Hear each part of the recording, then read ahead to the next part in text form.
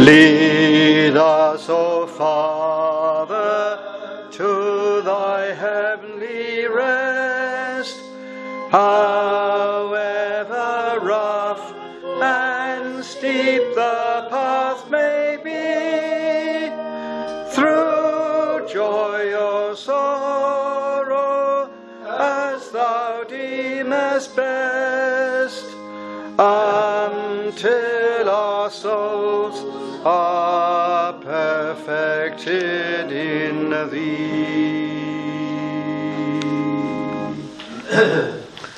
Please be seated. And again, I direct your attention to the New Testament uh, portion that was read to us. And in particular, I focus your thoughts upon verses 7 and following. And in particular, that statement of Jesus when he said, He who has seen me has seen the Father. He who has seen me has seen the Father. Now, throughout this series on John's Gospel, I have often reminded you of the fact that the Gospel itself all concerns the Word, the eternal Word. And the Lord Jesus Christ, who is the theme of the Gospel, is described by the Apostle as the Word who was made flesh and who dwelt among us. The Word who is God, together with the Father, and we may say with the Holy Spirit. And at various times I have expressed variations on the theme of words words of love, words of truth, words of grace, words of salvation. And uh, it could be said this morning that the, the heart of the message concerns words of revelation. Because the coming of the Lord Jesus Christ into the world, among other things, must be asserted as a revelation of the invisible God in visible form to mankind. The invisible God clothed himself with visibility when Jesus came into the world. He is our God contracted to a span, incomprehensibly made man. He is God incarnate. And that's the glory of the Christian faith, isn't it? It's that makes it so unique and so utterly um, distinctive. Now, last time we focused in particular on the famous verse 6, didn't we? Jesus said to Thomas, I am the way, the truth, and the life. No one comes to the Father except through me.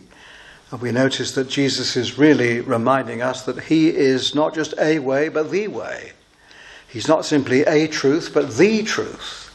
He's not simply life, but the life. And then our closing hymn, you might remember, um, number 113. To God be the glory, great things He has done. Included that line in the chorus come to the Father through Jesus the Son. And we see how that reflected indeed the truth of John 14, verse 6. Now we continue with the implications of what Jesus had said. But I would also just remind you, and I think it's particularly relevant this morning for reasons that I will very quickly explain, that there was a, a time when we were on the bookstall in Timber Hill, and you'll remember this particular story, but uh, I think it's relevant to mention this morning, that um, a young man from Cambridge came and he declared himself to me to be a Buddhist. And we had an interesting conversation. And then just um, uh, before he left, um, I said to him, I would like to remind you that uh, Buddha, shortly before he died, admitted that he had not found the truth. But we were there uh, in the city centre of Norwich in the name of one who said, I am the way, the truth, and the life. And off he went. And then about six months later, I had a wonderful letter from that same young man saying that that final exchange between us uh, opened his eyes and he became a Christian as a result. He accepted the Lord Jesus Christ as the way, the truth, and the life. Now, I mention that in the context of Buddhism because I'm sure you've been following the heartrending developments uh, in Leicester following the, the death of the chairman of the of Leicester City Football Club. It's been so much uh, in the news, uh, and it's a very moving uh, account uh, that we have both heard and, and seen on television. But I mention this because um, this dear man, and please forgive me, I haven't been able to master the proper pronunciation of his name, but you know who I mean. He was a greatly loved chairman of that football uh, club. And, uh, but Buddhism is simply not the answer. And with his funeral, uh, a lot of attention will be fixed upon Buddhism. And this is the great danger of our culture in our time. So much talk is given to multi faith thinking, so that the uniqueness of the Lord Jesus and what he says here in verse 6 is so easily lost. But so we must maintain, we must be conscious of what's going on and be firm in our minds and hearts of the uniqueness of our Lord Jesus Christ. There is a leaflet, isn't there, which some of you distribute on Saturday mornings. Jesus unique. And that's our claim and affirmation as, as Christians. Now then, as we have in the early part of, uh, of John 14, we're reminded that um, so much of what Jesus says here was a reply to the Apostle Peter's request he who wanted to go where Jesus was going. And our Lord's words consist firstly of a reply to Peter, uh, in which he says, I go to prepare a place for you. And then Thomas chips in with a question and says, Lord, we do not know where you are going, and how can we know the way? And then John 14, 6 is our Lord's answer to uh, Thomas.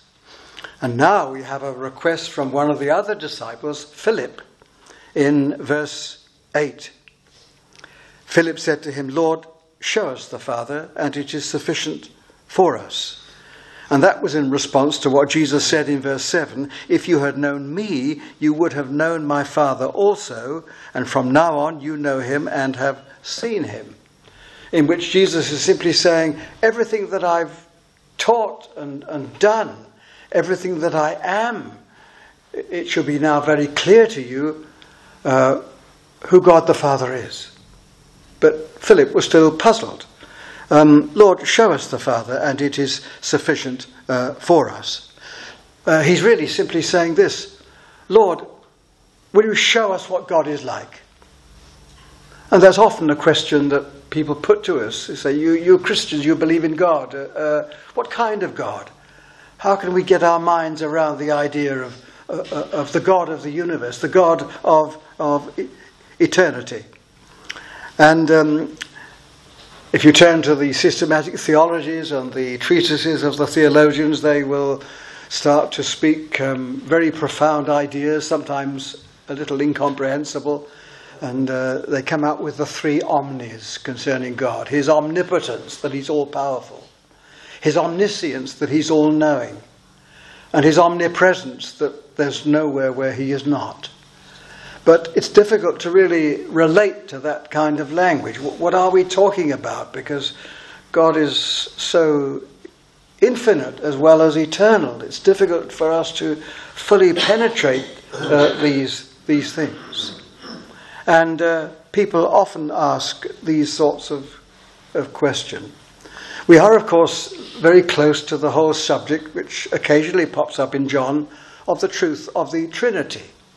Because here is Jesus talking about himself and also his Father. And we must understand the importance of this um, particular truth, because what we affirm as Bible believing Christians is that um, there is, is one being of God, one being of such a divine nature, but there are three distinct individuals who all share that same nature. One God in three persons, and that's why we believe in God the Father, God the Son, and God the Holy Spirit. I can give you a little analogy. If I were to ask you how many human races there are, you would say, well, there's just one human race. Yes, not more than one, just one human race. If I was then to ask you how many human beings are there, you would say, well, there are millions. So we could say that's like millions in one. And that's something of the truth that we express when we believe in the Trinity. In other words, that God the Father and God the Son and God the Holy Spirit, they are distinct, they're not to be confused, but they all share the same nature. All the attributes or characteristics or excellencies of God are shared by the Father, the Son, and the Holy Spirit. And this really runs right the way through the Bible. So there is plurality in unity. And the Hebrew word for God, Elohim, is plural, it's not singular. So a lot of these things uh, need to be said when we hear Jesus saying, He who has seen me has seen the Father. He's not saying he is the Father, but what is he saying? He's saying something like this that there is something of the Father in me. And I think one of the, the best biblical expressions of all this comes in Hebrews chapter 1, where the apostle there describes the Lord Jesus Christ as the express image of the Father. In other words, sometimes it's said of children, sons, and also sometimes daughters, oh, um, he's a chip off the old block, just like his father. And we could, in a very genuine sense, say that with this metaphor, that the Lord Jesus Christ is an important component of the eternal block who is the Father. Our dear friend and brother Hazlett Lynch put a, a, new picture of himself up on Facebook this last week, and it's the most delightful picture, and I, I said so. And uh, one of his friends in Northern Ireland actually made the comment, You're just like your dad. Now, that really is what we're saying about the Lord Jesus Christ. And that's what he was implying here when he says, He who has seen me has seen the Father. Like Father, like Son. Now, this is such a, an important truth. Sometimes the question has been asked uh, of the three persons of the Godhead, who has been most neglected? Well, there was a time when the charismatics were saying, well, uh, you reform people, you don't have much to say about the Holy Spirit, which is an absolute falsehood, but that's their impression. I think it may be safe to say that if any one of the Godhead tends to be ignored, or rather forgotten, it is God the Father. It's right that we emphasize God the Son, the Bible does that constantly, but for the very reason that Jesus gives here. He who has seen me has seen the Father. So the fatherhood of God is a, is a vital and important truth for us to keep in mind. I think it's true to say, too, that in recent years there has developed a crisis concerning fatherhood. Hasn't there? From what one hears the nation is awash with absentee fathers through divorce and various pressures. And uh, with all the concern about knife crime in London, two more teenage victims this last week. It's so grieving to hear this. One wonders whether the fathers are not around as role models, proper role models to give guidance and authority to to their sons. I believe this is probably um, very much um, the case at the, at the present time. A crisis in fatherhood. And also, I think it must be added, and I say this in all honesty and fairness, there is an aggressive type of feminism which is tending to undermine men in taking responsibility for their manhood and for their lives. So there is, I believe, something of a crisis in fatherhood. And it's spilled over into the church in this sense that there are lots of New Age sort of Christians who say, well, we should pray to God as our mother. Mother God. You've probably come across such people as well. And I believe all this is a, a, features of a culture which is moving away from the Bible. It's moving away from the historic Christian truth. It's moving away from what the Lord Jesus Christ is uh, reminding us here. He who has seen me, he says to Philip, has seen the Father. Such a vital truth um, this is. What remains for me to say this morning uh, could also be described as what the old Puritans used to call a sacramental meditation. Because I want just to focus for a, a short time on the fact of the presence of God the Father uh, in the Gospels concerning the Lord Jesus himself, because of what Jesus says here. And uh, just five examples I give you, very brief ones. First of all, we see the Father in Christ's birth, do we not? After all, John has said, He is the Word made flesh, and who dwelt among us, and we beheld his glory, the glory as of the only begotten of the Father, full of grace and truth. Yes, we see the Father in the birth of the Lord Jesus Christ. And going back to the, the now deceased uh, Leicester Football Club chairman, I was struck yesterday afternoon that one of the Leicester fans described this man, a very kind man, uh, a man you could talk to. And this fan actually said to him, uh, said to the um, uh, reporter, um, he became one of us. And I thought, that's exactly right. That's exactly true of the Lord Jesus Christ. That he became one of us. He became man. He became human.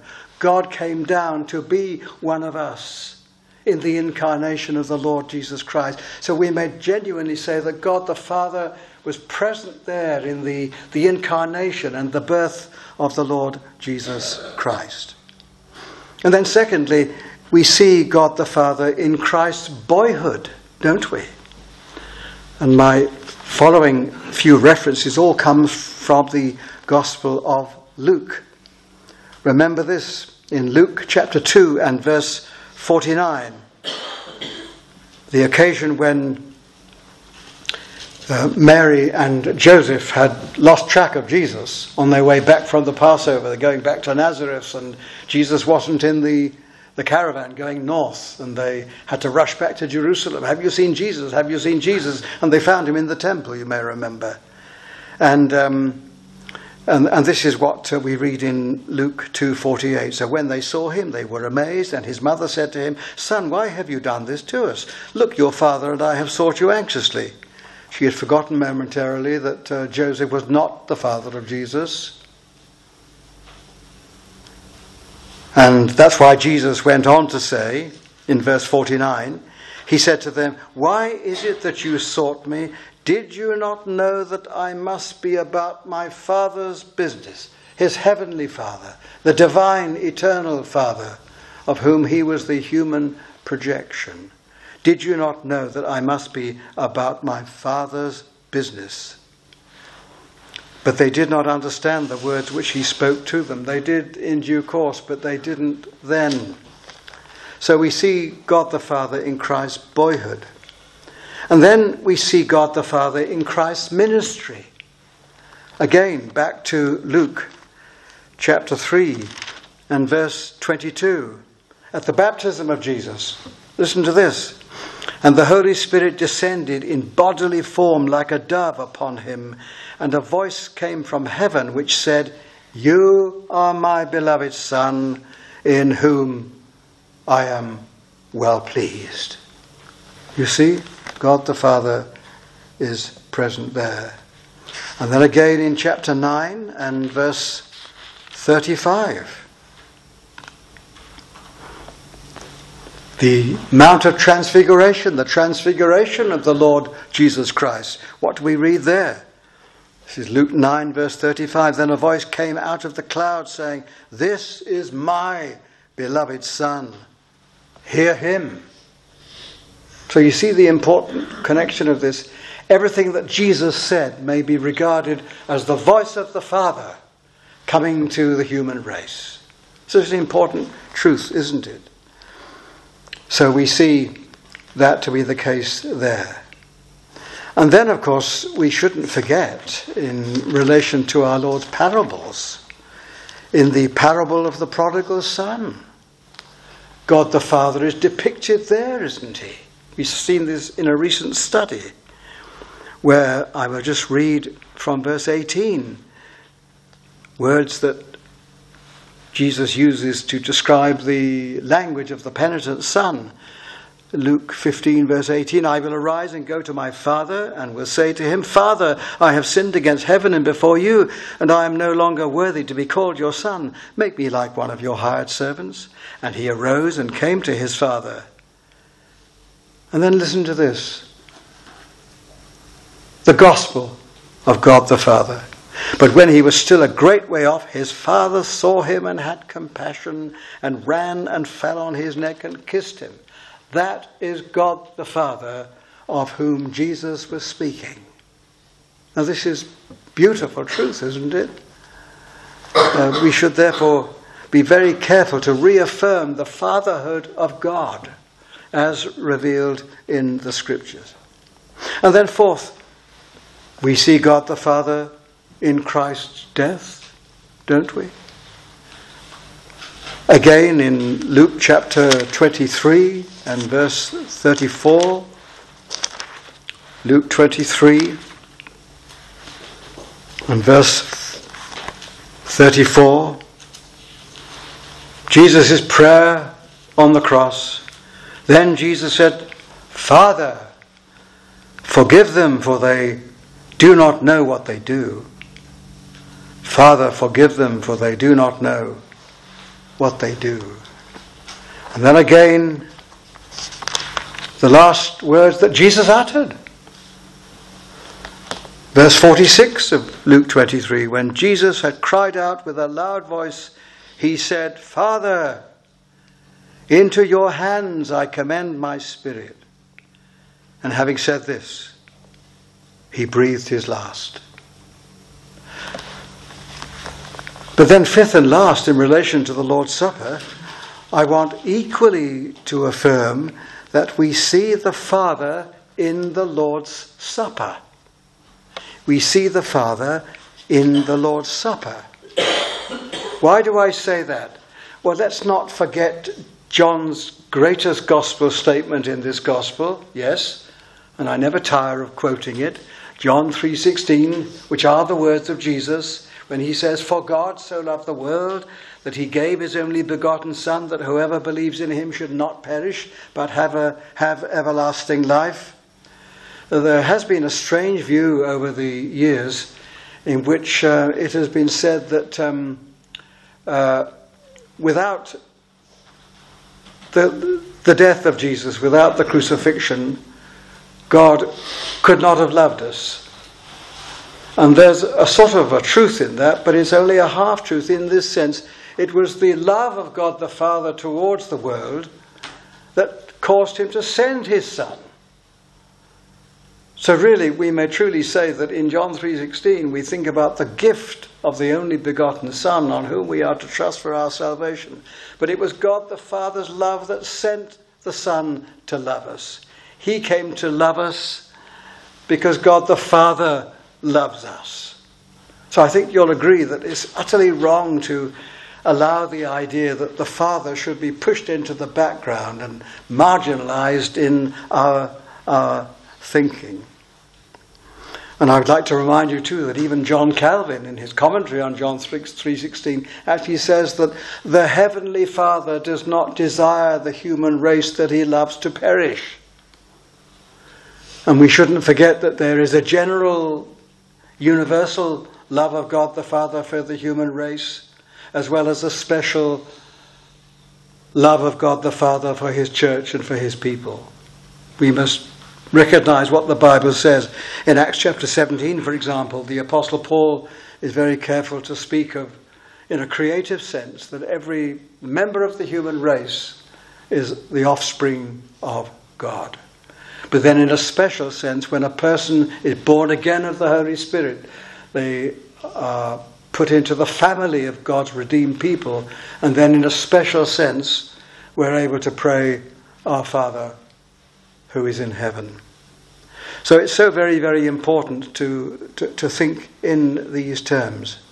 And uh, we can't forget that rather beautiful statement, stepping ahead, as it were, in John 16, and where Jesus says in verse 27 For the Father himself loves you, because you have loved me and have believed that I came forth from God. What a remarkable statement that is. Yes, there's no doubt that Jesus loves the disciples. We, we saw a couple of weeks ago that having loved them, he loved them to the end. But Jesus is saying, It isn't only I who love you, but the Father loves you. We could say, That's why God the Father has sent his Son as an expression of his amazing love towards this rebellious human race. Yes, it's true to say that there is a sense in which no member of the human race is totally unloved, even though those who believe the gospel have that special love from the Father. And what Jesus says there to the disciples, John 16 27, applies not only to the disciples, it applies to you and me, to every Christian brother and sister we know all those for whom we have prayed, all those for whom we are concerned in all their troubled circumstances. We are to remind them, and none of us should ever forget that the Father Himself loves you. And I want you to be sure of this, uh, to be sure of this, my dear friends, this morning. I say in the name of your Saviour, our Lord Jesus Christ, that your Heavenly Father loves you. Please be persuaded of that because it comes from our Saviour's own lips. So, all these things are very precious truths that should um, rehabilitate the idea of fatherhood. Yes, we cannot deny that fathers have often failed their children. I don't know of any human father that hasn't at some stage and in some degree been a failure to his children.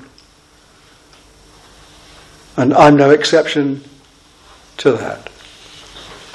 But it does mean that we must avoid the feminist kind of take on human relationships and get back to the biblical. No, there's to be no prayer to God the Mother. Why? Because an end of all argument, when people ask that question, when the disciples said to the Lord Jesus Christ, Lord, teach us to pray, what did he say? Our Father in heaven. That's the end of the argument if you're going to follow the Bible rather than New Age nonsense, which is so prevalent at the present time. So then, when we come to think of the Lord's Supper, it's right and proper that we do that which Jesus has commanded. It's right and proper that we pray that our living Lord Jesus Christ should preside at his, at his own table it means this too, doesn't it? That as we partake of the bread, we look by faith beyond the bread to the Lord Jesus. When we drink of the cup, we look beyond the wine to the Saviour who shed his blood for us. But from what we've seen this morning, we should go one step further and say that we should look beyond the elements to our Heavenly Father the Father who sent the Son. And the Trinity are involved there because faith is a gift of the Holy Spirit, isn't it? So we come to the Lord's Supper truly in this Trinitarian manner. It is God the Father who sent the Son. It is God the Father's love that is behind Calvary. It is God the Father, the loving Father, who ultimately makes sense of the meaning of the bread and of the wine. Which is just another way of saying that receiving the Lord Jesus Christ is receiving the Father. Indeed, to reject the Lord Jesus Christ is to reject the Father. Then you see, to return to the beginning of John 14, this being the case, when we believe in Him and cast ourselves upon his mercy, then verse 2 of John 14 shines that little bit brighter. What do I mean? Jesus said, In my Father's house are many mansions. If it were not so, I would have told you, In my Father's house. Constantly, therefore, there is this reference by the Lord Jesus Christ. So this morning, when we have the Lord's Supper, uh, we will look beyond the elements to Christ, but we will also look beyond them to the Father. Such a precious truth when you see it in this particular way. So it's so important for us to understand. Jesus said to Philip, Have I been with you so long, yet you have not known me, Philip? He who has seen me has seen the Father. How can you say, Show us the Father? Do you not believe that I am in the Father, and the Father in me?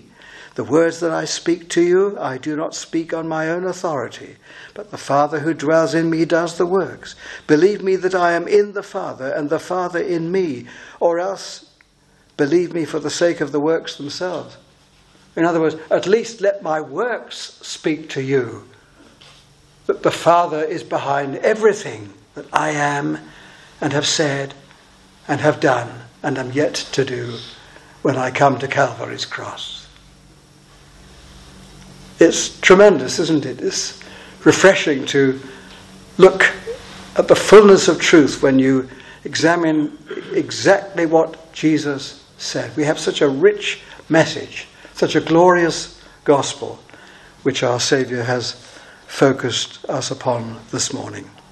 Have I been with you so long, yet you have not known me? He who has seen me has seen the Father.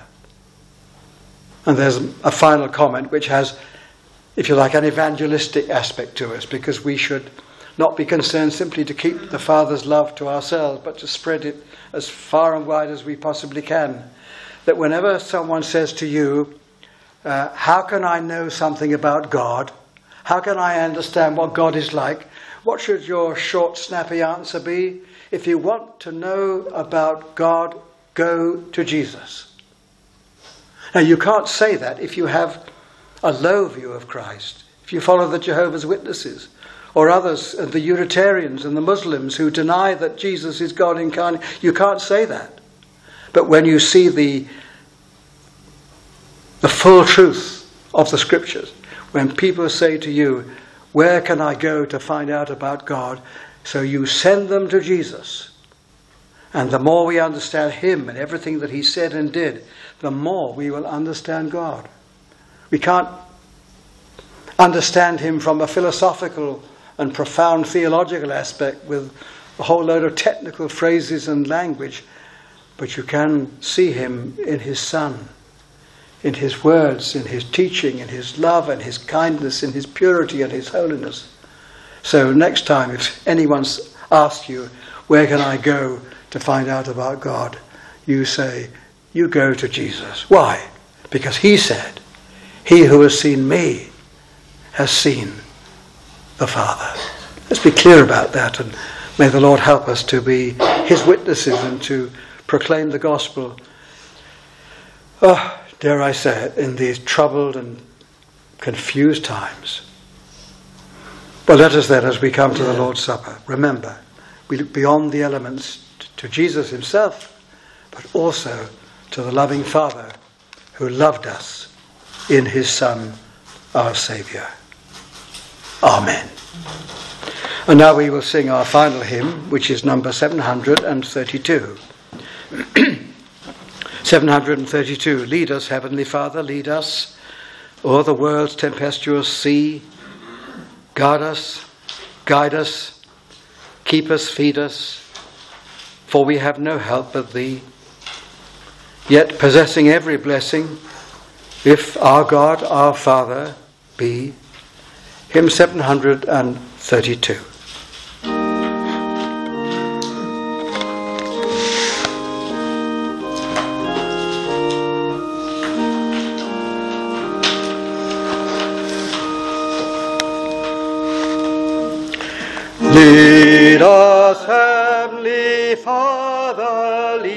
Lead us o'er the world's tempestuous sea. Guard us, guide us, keep us, feed us, for we have no help but thee. Yet possessing every blessing, if our God, our Father be. Saviour, breathe forgiveness o'er us, all our weakness thou dost know. Thou didst tread this earth before us, thou didst feel its keenest woe. Lone and dreary, faint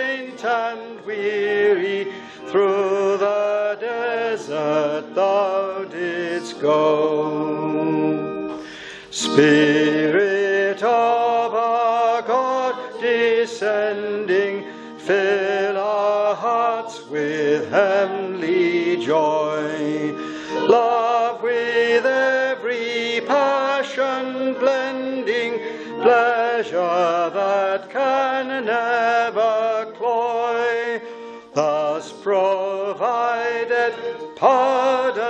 guided, nothing can our peace destroy.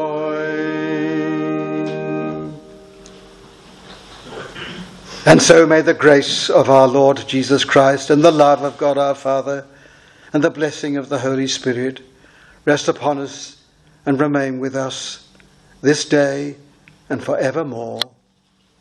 Amen.